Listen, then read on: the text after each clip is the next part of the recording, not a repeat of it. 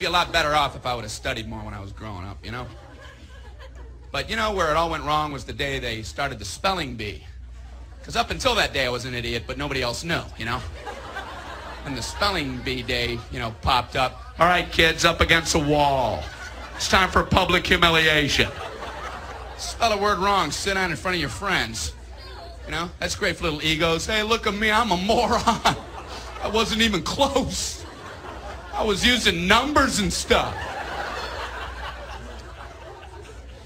That's why I admired that kid who spelled it wrong on purpose so he could sit down, you know? He knew he wasn't going to win, so why stand there for three hours? First round, cat, K-A-T, I'm out of here.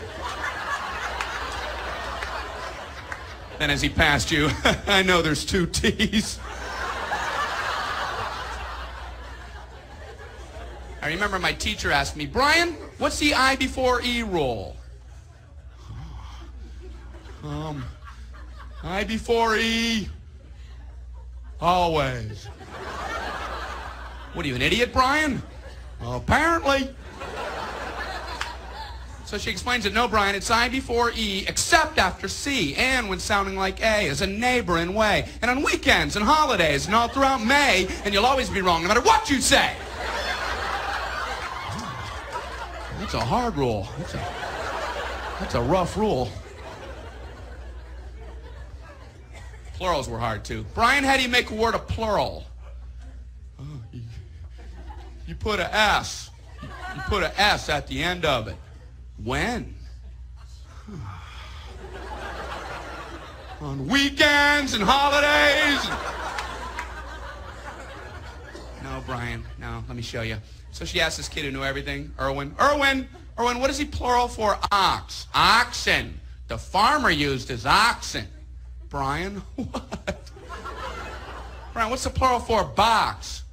Boxing. I bought two boxing of donuts. No, Brian, no.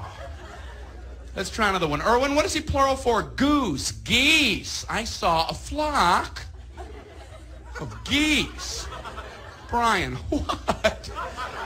Brian, what's the plural for? Moose. Moosin. I saw a flock of moosin. There are many of them, many much moosin. Out in the woods, in the wood is, in the woods in. The meat's wanting food. Food is to eating, is it? The meat's wanting food and in the wooding in, is And the food in the wooding is it? Brian, Brian, you're an imbecile. Imbecilin.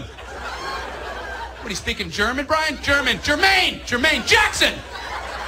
Jackson 5. Tito. Brian, what are you talking about? Oh, no. I don't know, really.